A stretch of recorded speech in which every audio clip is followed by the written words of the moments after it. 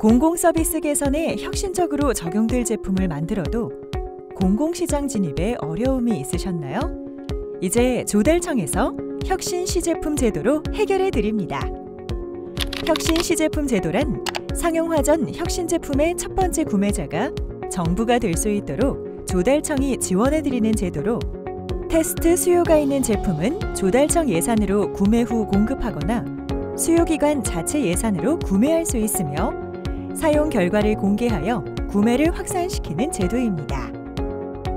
인터넷망 설치가 어려워 정보의 사각지대에 놓여있던 도서상간 지역에 무료 와이파이 존을 위한 혁신 시제품이 보급되어 전 국민이 인터넷 이용 제약이 없는 시대를 기대할 수 있었습니다.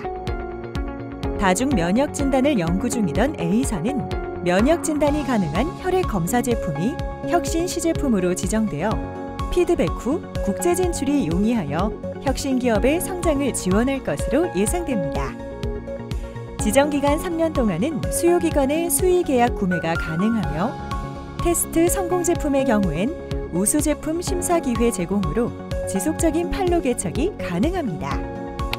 수요 기관은 예산 확보, 감사 부담 없이 공공 서비스 개선이 가능하며 정부 혁신 평가에도 우대 혜택을 받습니다.